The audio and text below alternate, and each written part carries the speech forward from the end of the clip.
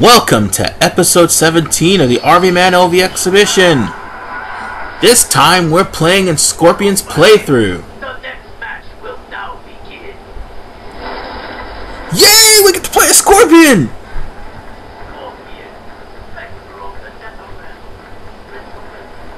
Everybody has the right to applause. Ah, look, Chameleon! And Chameleon! There's the Lin Kuei in Sub-Zero.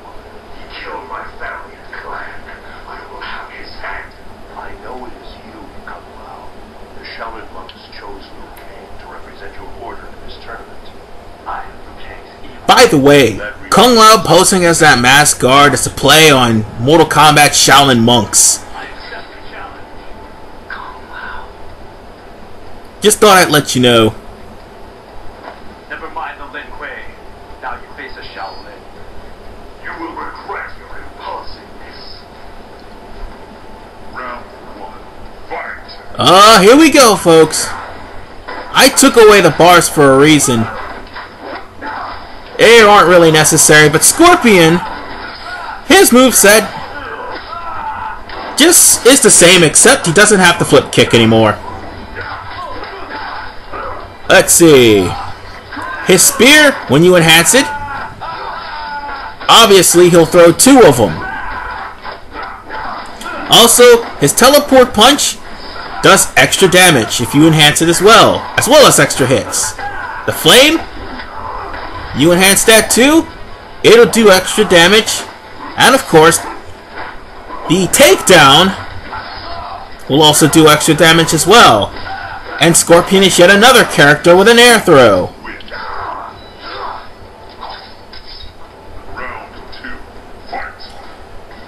Thing is, yeah, that X-ray is pretty badass.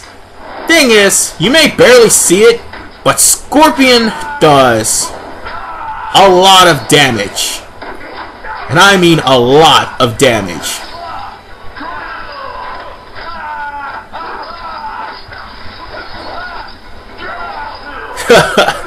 this is so fucking hilarious. I love doing that. But the thing about Scorpion, everyone on Xbox Live and PSN plays as him. You are not yet warrior. I mean, he's got a strength boost. Thankfully, not that incredible strength boost in Mortal Kombat Deception, because that was just fucking ridiculous. Facing Shujinko with Scorpion that does 200 damage to you is just bullshit. Yeah, give him what he wants. Oh god, Raiden's seeing the future again. You will demand nothing. Nightwolf. Your aggression is misplaced. Oh, the don't worry about. Kung Lao and Nightwolf. We'll be seeing them or playing as them later.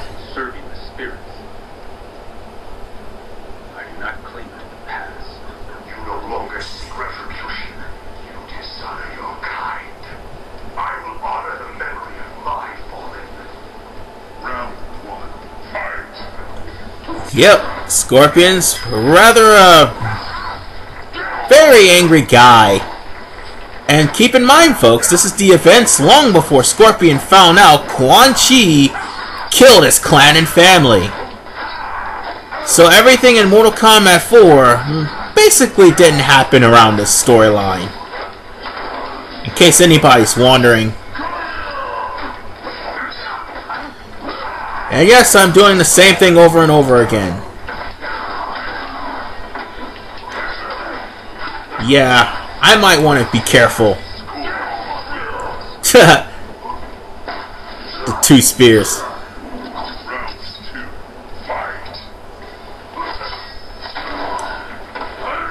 I basically took off the meter because, plain and simple, in order for me to actually show the meter, my TV would end up being caught in it as well. And I try my best to keep it out of the picture as much as humanly possible. That throw's sick. I'm surprised nobody died from that. That'd be like an instant kill move or something. He just jabs his spear into your throat and it slings you. Scorpion win. The spirits have forsaken you, Shaman. An impressive start. You waste my time, sorcerer. Restraint, Scorpion. Yeah, You will find some. Quan Chi is a douche.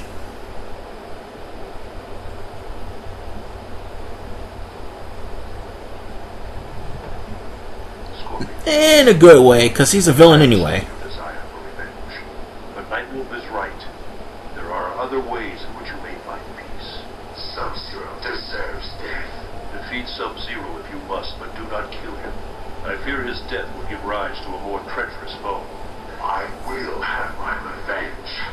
Spare Sub-Zero's life, and I will request that the Elder Gods return the Shirai Ryu to the realm of mortals.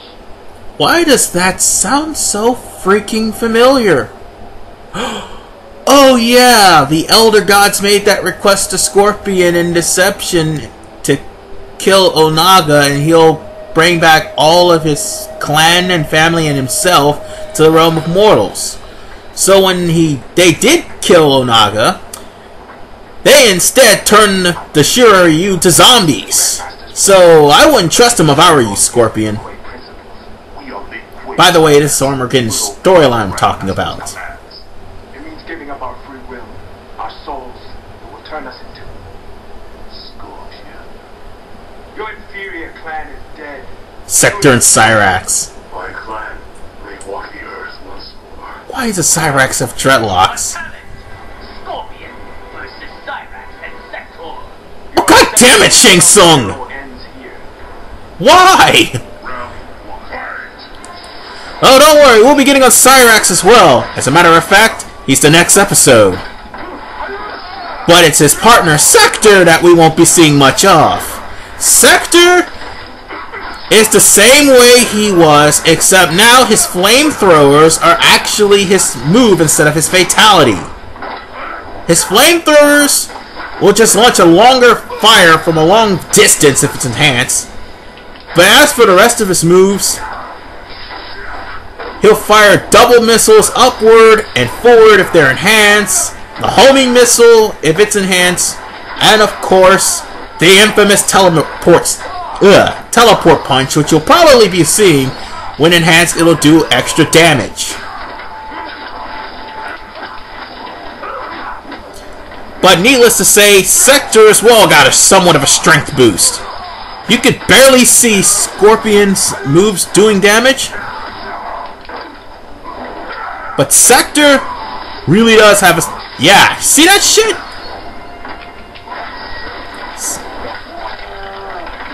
I love that freaking X-Ray. Anyway, Sektor's moves definitely have somewhat of a move base. Honestly, I wish they'd have kept Sektor's weapon, or at least Cyrax. Sektor with his two lightsabers. Honestly, Armageddon would have been a better game if they'd allowed you to have more weapons to customize. I mean, more weapon sets to customize your characters with. Then we'll see a lot of people walking around with lightsabers, either seeing Luke Skywalker or Darth Vader or Darth Sidious or even General Grievous. But no, there were some moves we couldn't use and some weapons we couldn't use, and Sektors was one of them. Anyway, Sektor is much more balanced because now his. That's the thing about most of these characters. They make most of these characters more balanced just in case their fighting style. Or more like their moveset. Okay, let me try to fix that. I'm trying to think here. Ah, there it is. More like his special moves. If their special moves are like fail and they get reversed or blocked or whatever, they have plenty of normal moves to compensate. Sektor, I gotta say, was really horrible in Armageddon. It was nice to see him in Armageddon, but nothing really changed except for his flamethrowers. Yeah, see? There's his enhanced uppercut. And I'm almost dead. Shit! Come on, beat him, beat him! Oh! So close! Oh, sorry about that. Apparently some things got caught in the recording.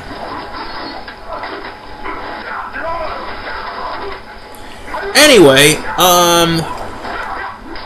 Cyrax... Well, not Cyrax, Sektor. Sektor was also a horrible choice to face Motaro with in Mortal Kombat 3. Just for the fact that Motaro can bounce back or pass through most of his projectiles. Sorry about that lag for a second there. Yeah. Just for the simple fact that Sektor can... That most of Sektor's move set was pretty much neutered once Motaro came into play. It was just ridiculous. And then, when Jade debuted in Mortal Kombat 3, it was Sektor's worst nightmare.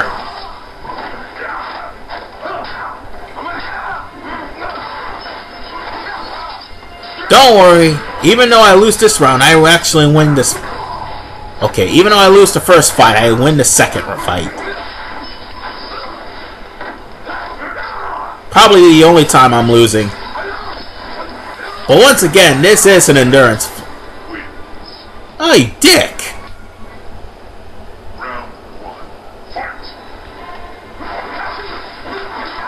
Yeah, this will be one of many endurance fights. Like I said, there will be endurance fights in certain parts of this game.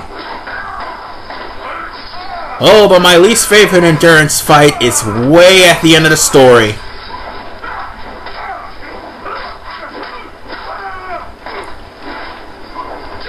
Meanwhile, Sektor, like I said, horrible choice when facing Jade or facing yeah, when facing Jade or facing Motaro, and especially facing Nightwolf. Sorry about that. I have a, somewhat of a cold. Because Nightwolf beforehand was easily able to uh, projectile reflect most of Sektor's missiles. And it just it just really made me think. Why would they do something like that to Sektor? Make characters that can neuter Sektor.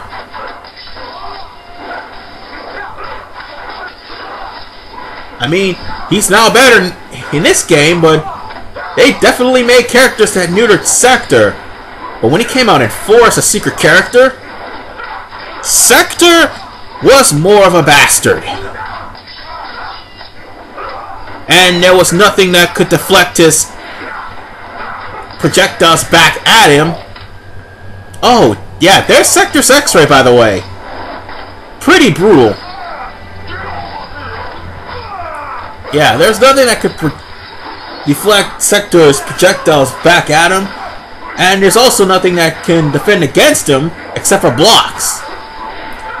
Basically, Sektor and Kai were like one and the same with annoying projectiles coming out of nowhere.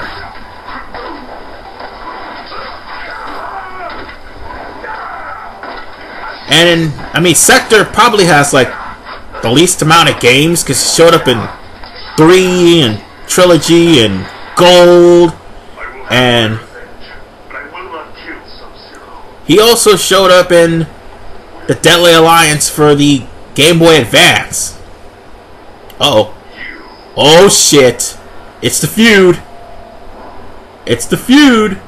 Shirai Ryu are dead. You will suffer as they did. To hell with your clan. No. To hell with you. I'm glad they brought that back, by the way, as a parody to his one fatality. The Nether uh, Realm. This is where I was reborn. This is where you will pay. Round one. Fight. And I'm glad they brought the stage back and made it look better. I mean, they made this stage look better than what it did in Trilogy.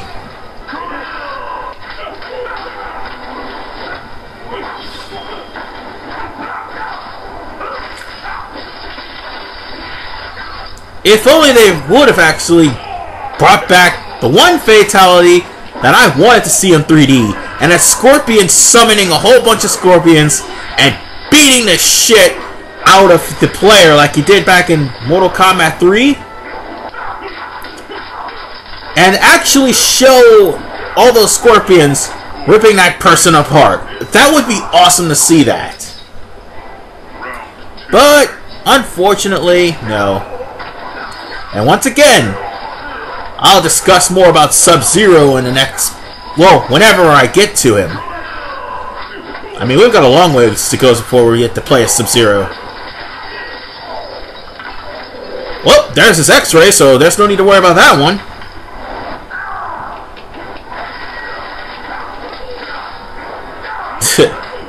Whenever I see Sub-Zero's X-rays, Scorpion's X-rays,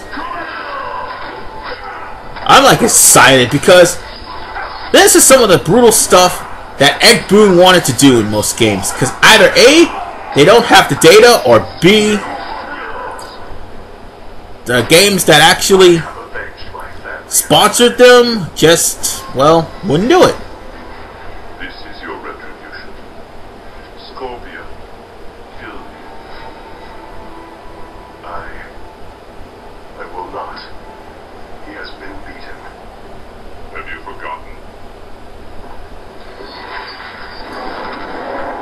Damn it, Quan Chi!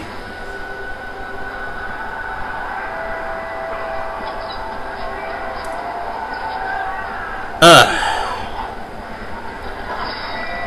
I will be honest with you, even though that is visual proof that the Shirai Ryu got wiped out by the Lin Kuei under Sub-Zero's command, this is more like the same scenario with Mephiles and Silver from Sonic 06. Mephiles just say, Here's the Iblis Trigger. I'll show him to you. Go kill him. And you see Sonic standing behind the flames of fire. I mean, it's ridiculous. How would Quan Chi know that Sub-Zero killed all of his clan and family if he wasn't there?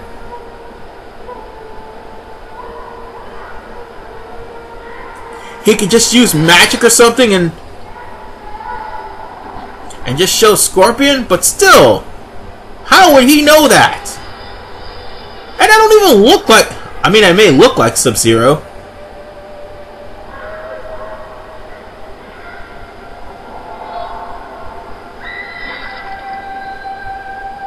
But I could tell right away that that wasn't.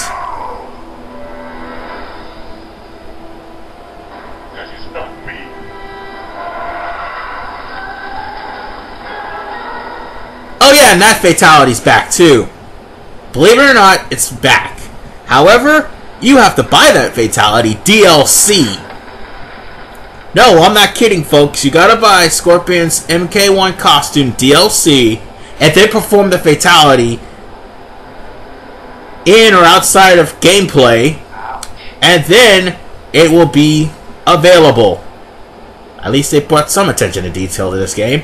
Anyway, that's the end of Sub-Zero. For now.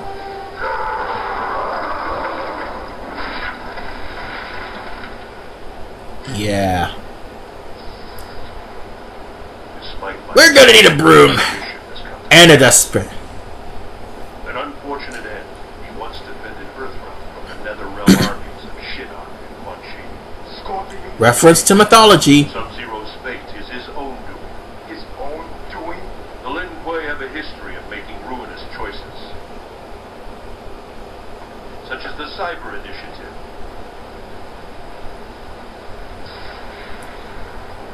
I'm among those Ah. speaking out against the Grandmaster's plan. Surgically transformed the Lin Kuei into glorified robots and killed our intuition, our instincts. Did you speak out against the Lin Kuei's participation in this tournament? We were invited by Shang Tsung. He pays you to kill Earthrealm warriors. Betraying your own realm? I expect better, even from an assassin. My loyalty is to the Grandmaster. Victory for Shang Tsung means the end of Earthrealm. And the Lin Kuei.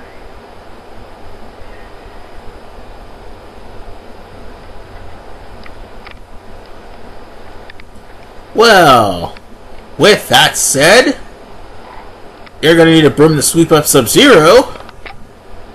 And I'm gonna put an end to this video right here. This is RV Man 985. We get to deal with Cyrax in the next part. See you guys next time.